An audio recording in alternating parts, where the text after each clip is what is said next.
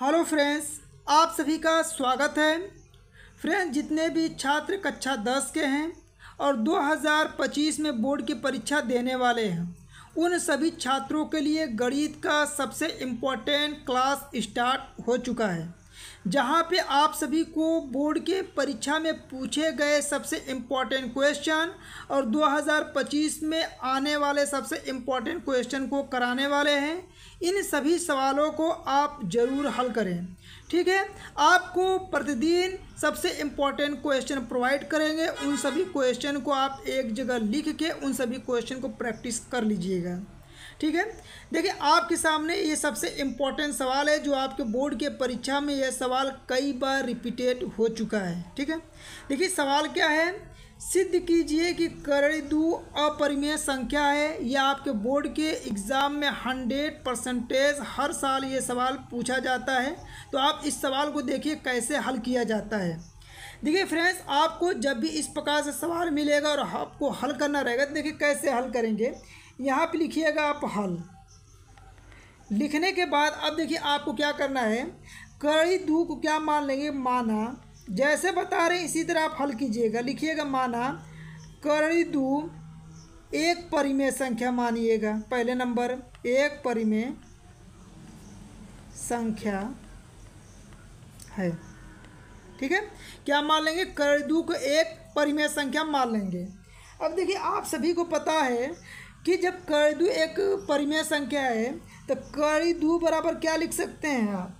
A upon B. क्या लिखेंगे? A upon B.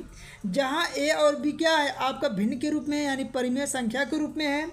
और यहाँ पे लिख सकते ए कामा बी जो है, जो ए और बी लिखें, यहाँ लिखेंगे ए कामा बी स अभाज्य संख्या है। क्या लिखेंगे? स अभाज्य संख्या है और यहाँ से क्वेश्चन बंद कर लेंगे इसे। यानी ए और बी क्या है? स अभाज्य संख्या है। देखिए स अभाज्य का मतलब होता है कि जिन दो संख्याओं का लिया जाएगा, इसका एच सी एफ़ जो होता है, एक होता है। यानी महत्तम समापवर्तक क्या होता है? जिन दो संख्याओं का महत्तम समापवर्तक एक होता है, वह संख्या स अभाज्य संख्या कहलाता है। तो यहाँ पर आपका स अभाज्य संख्या का मतलब क्लियर हो गया होगा। अब देखिए, अगले स्टेप में क्या करना है आपको?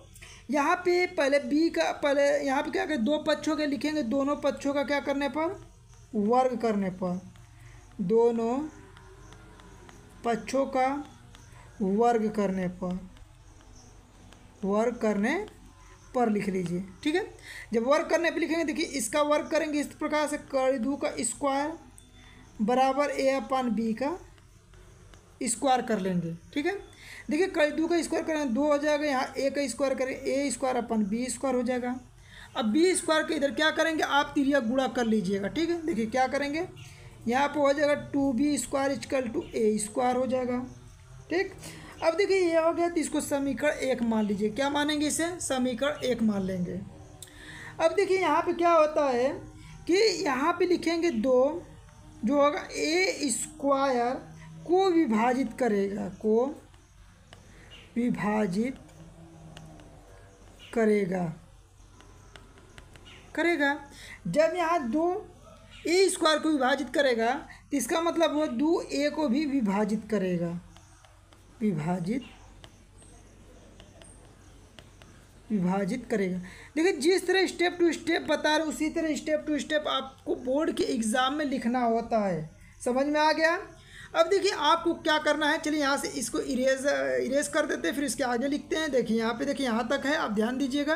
टू ए को भी विभाजित करेगा, यहाँ से इसको इरेज कर देते हैं, ठीक है? अब देखिए, इसके बाद आप क्या लिखेंगे? कि पुनः मानेंगे, ठीक है? पुनः माना पुनः माना यहाँ लिखेंगे, और मानने के बाद देखिए, आप क्या लिखेंगे? आप ए को मान लेंगे टू सी के बराबर। क्या मानेंगे? ए को मानेंगे टू सी के बराबर, और यहाँ पे लिख सकते हैं कि सी क्या है? आपका पूर्णांक है। सी को, आपका क्या है? एक पूर्णांक है। सी पूर्णांक है, ठीक है? इस तरह कोष्टक बंद कर लीजिए। सी क्या हो गया आपका? पूर्णांक हो गया। अब क्या करेंगे? यहाँ पे ए बराबर जो टू सी हुआ, अभी आप सिद्ध किए थे, जो समीकरण नंबर एक बनाए थे, वहाँ पर क्या सिद्ध किए थे? देखिए, आपको लिख देते हैं, two B square equal two A square, ये समीकरण इसको बनाए थे। समझ में आ गया ना? अब यहाँ पे देखिए आपको क्या करना है। यहाँ पे देखिए यहाँ पे जो मान है ए बराबर टू सी है, जो समीकरण एक बनाए थे आपने तो यहाँ पे इसका मान रख लेंगे। लिखेंगे कि समीकरण एक में ए बराबर टू सी रखने पर रखने पर। देखिए जहाँ पे ए है, वहाँ पे क्या लिखना है आपको? ए बराबर टू सी रखना है। तो यहाँ पे होगा टू बी स्क्वायर ए की जगह पे लिखेंगे टू सी स्क्वायर तो स्क्वायर कर लेंगे। तो यहाँ पर कितना हो जाएगा two B square equal two, दो दिन के चार, सी स्क्वायर हो जाएगा, ठीक है? अब यहाँ पे देखिए, दो से क्या हो जाएगा? आपका कैंसिल दो कैंसिल, दो दिन के चार हो जाएगा। तो बी स्क्वायर इजकल टू कितना हो जाएगा? टू सी स्क्वायर होगा ये हुआ आपका B square equal to two C हो गया। अब यहाँ पर लिखेंगे टू जो होगा, बी स्क्वायर को विभाजित करेगा। विभाजित करेगा। ठीक है? विभाजित करेगा। तो इसका मतलब हुआ कि दो जब बी स्क्वायर को विभाजित कर रहा है तो दो बी को भी विभाजित करेगा। बी को विभाजित करेगा।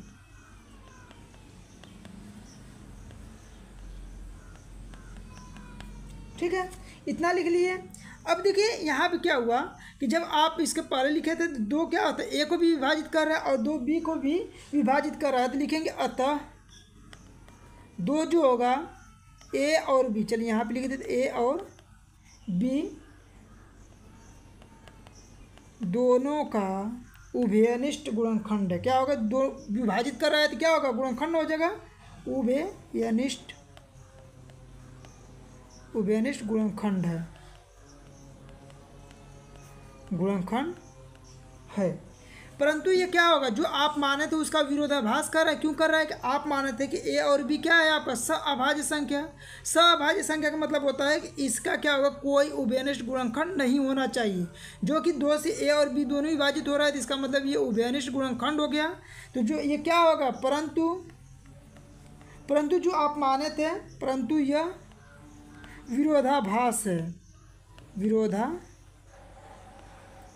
है। ठीक है? विरोधाभास है। क्यों विभाज्य विरोधाभास है? इसलिए क्या लिखेंगे? इसलिए इसलिए ए कामा बी स अभाज्य संख्या है, जो माने थे आप स्टार्टिंग में। लिखेंगे स अभाज्य संख्या है। ठीक है, सहभाज्य संख्या है। अब देखिए, जब ये लिख जाए ए और बी सहभाज्य संख्या है, इसीलिए क्या है, ये इसका विरोधाभास है। इसलिए कि आपको सहभाज्य संख्या का मतलब बताए हैं कि इसका कोई उभयनिष्ठ गुणनखंड नहीं होना चाहिए, ठीक है? जो कि यहाँ पे उभयनिष्ठ गुणनखंड हो रहा है, इसलिए विरोधाभास हो जाएगा। अब यहाँ पे लिखेंगे अतः। अतः कड़िदु क्या हो जाएगा? एक अपरिमेय संख्या हो। क्या होगा? कड़िदु अपरिमेय संख्या होगा। अपरिमेय संख्या संख्या है। इसलिए क्या लिखेंगे? कड़िधु क्या हो जाएगा आपका? एक अपरिमेय संख्या होगा। तो इस प्रकार से जैसे आपको बताए हैं, आप स्टेप टू स्टेप लिख लीजिएगा उसको एक दो बार प्रैक्टिस कर लीजिएगा। आपको बोर्ड के एग्ज़ाम में हंड्रेड परसेंटेज इसी टाइप का सवाल आता है और आपको इसी प्रकार से लिखना होता है। देखिए फ्रेंड्स यहाँ पे आपको बता दें, आपके बोर्ड के एग्ज़ाम में कड़ी दो दे दें या इसके अलावा कड़ी तीन आ जाए। या इसके अलावा कड़ी पाँच आ जाए। तो जैसे आपको कड़ी दो बताएँ सिद्ध करने के लिए, उसी तरह कड़ी तीन हो जाएगा, बस दो के जगह पे वहाँ पे तीन आने लगेगा। और इसके अलावा पाँच, कड़ी पाँच। इसी में से आपको बोर्ड के एग्ज़ाम में कड़ी दो, कड़ी तीन, यही आगे बोर्ड के एग्ज़ाम हर साल बोर्ड के एग्ज़ाम में आता है। तो इन सवालों को आप ज़रूर प्रैक्टिस करके बोर्ड के एग्ज़ाम में जाइएगा।